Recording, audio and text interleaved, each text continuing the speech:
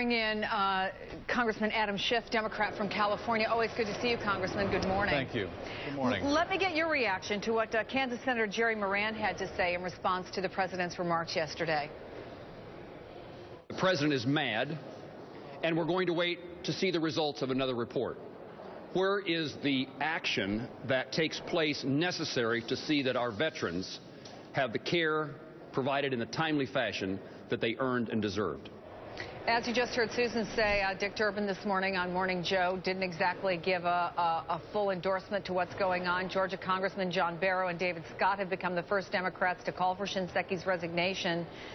What do you make of his status? Is he so damaged at this point, Congressman, he can't effectively oversee the needed changes at the VA? Well, look, uh, the allegations that have been made are incredibly disturbing, uh, just appalling, and we're going to have to get to the, the basis of this. Find out what, what exactly are the allegations place. at this point? You've seen, I know, the emails that that don't just suggest but show that there was a pattern here. I mean, is are are you not satisfied that something wrong went on here? Well, look, I think that what we've seen already is pretty damning, but I do think we want to know the full extent of this. Is this something that took place in a few VAs, or is this a systemic problem around the country?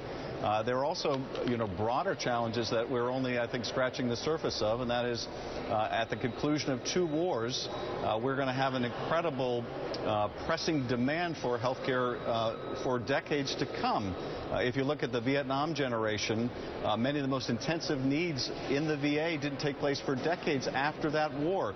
So I think what we're seeing now is really the tip of the iceberg in terms of the stresses and demands on a healthcare system. So we're going to have to make some pretty dramatic changes.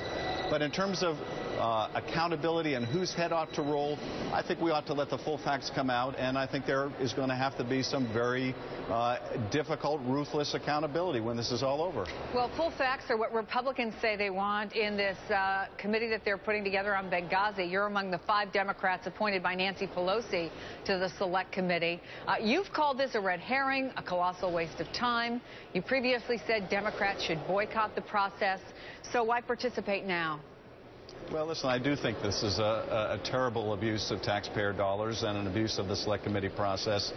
Because we've had so many investigations over and over on this, uh, as you know, Chris, we had a vigorous debate in the caucus about whether we should participate at all.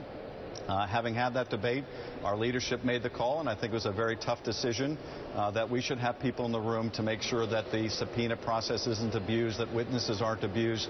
Uh, and I respect that call. Uh, and once that call is made, uh, then you go and you implement the decision that the leadership has reached. So that's what we're doing.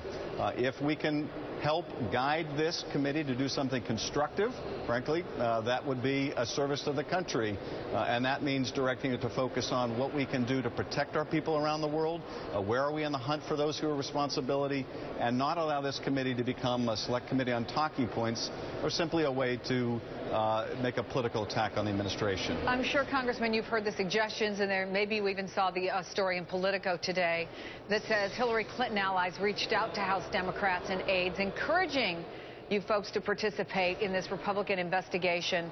So I'll ask you bluntly, is the main role for you and other Democratic committee members to protect Hillary Clinton? No, I think the main role for Democrats is to make sure that this committee doesn't become a circus and a mere fundraising vehicle for the GOP, but that it serves some valid purpose and to try to keep this thing from going completely off the rails.